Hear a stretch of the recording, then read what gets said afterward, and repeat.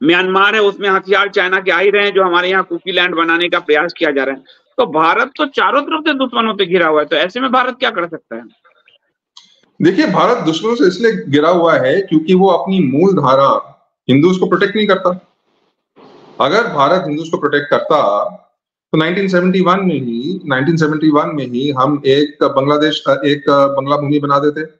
अच्छा अगर बंगला भूमि हमने 1971 में नहीं बनाई तो फिर हम 1980s में बना देते। 1990s में भी फिर से मौका मिला था बट वाजपेयी ने उसको रोक दिया। तो मुझे ये लगता है कि अगर हम कहें कि भारत को बाहर लोगों से, हर जगह से घेरा हुआ है तो ये किस एंटिटी को घेरा हुआ है? ये जिस एंटिटी को आज जिसकी आप बात कर रहे हैं जिसको घेरा हुआ है, क्या एक हिंदू देश है, क्या ये कम्युनिस्ट देश है, क्या ये मुस्लिम देश है, क्या है ये एंटिटी जिसको घेरा हुआ है? मुझे तो लगता है कि ये जो एंटिटी जिसको घेरा हुआ है, ये रैपिडली एक इस्लामाइजेशन की ओर बढ़ती हुई एंटिटी है।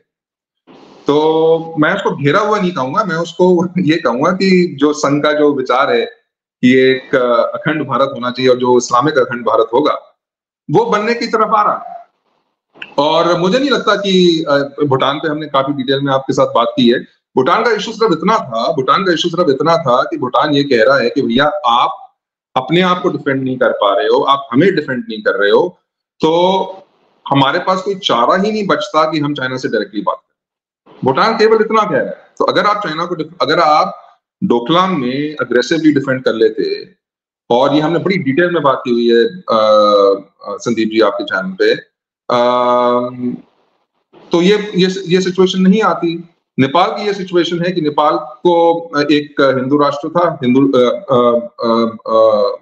किंगडम था उसको हमने चेंज करके कम्युनिस्ट बना दिया और अभी भी वही चल रहा है। गवर्नमेंट की पिछले दस साल से यही पॉलिसी है, दस साल पहले भी यही पॉलिसी थी। जहाँ तक श्रीलंका का प्रश्न है, श्रीलंका ने तो बहुत बड़े एक्शन लिए हैं इस्लाम के विरोध तो मुझे लगता है कि जो मेन जो मुद्दा है, मुझे ये लगता है कि भारत की सीमाओं का मुद्दा इतना नहीं है, ये इस्लाम का मुद्दा है। क्योंकि अभी जब ये जो सब कॉन्टिनेंटल का जो इस्लामाइजेशन हो रहा है, उसका अभी बेसिकली एक नेक्स्ट स्टेप हो गया है। और अभी इससे क्या होगा, इससे इससे डायरेक्टली क्या होगा कि जो कुछ भी आपका बंगाल बचा हुआ था थोड़ा बहुत चालीस पचास परसेंट जो भी बचा हुआ है, अभी नेक्स्ट हो जाएगा।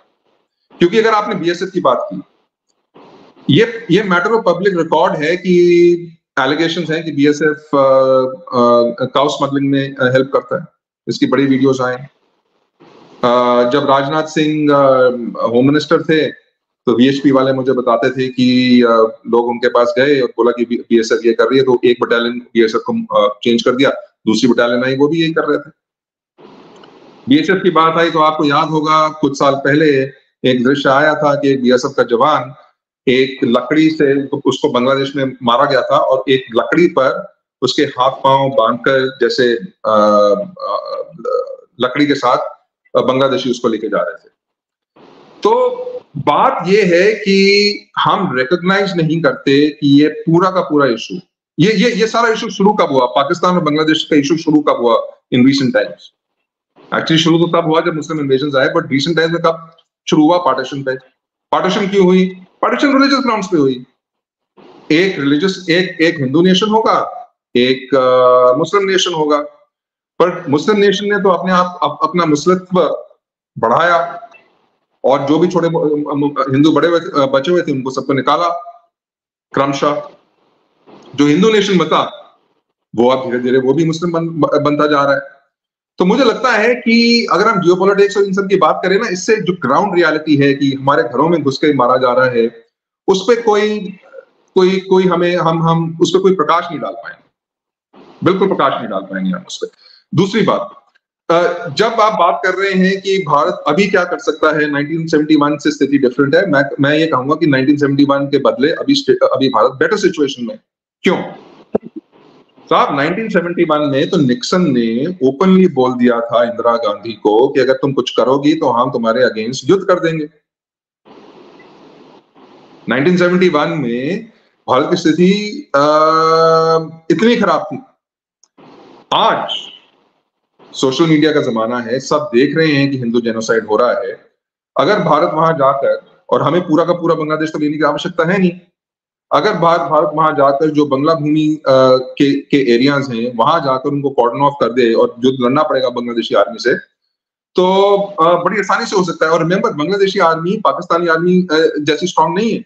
उस टाइम पे जो भी हो, पाकिस्तानी आर्मी का जो ईस्टर्न कमांड का जो भाग था, वो फिर भी काफ़ी स्ट्रांग था।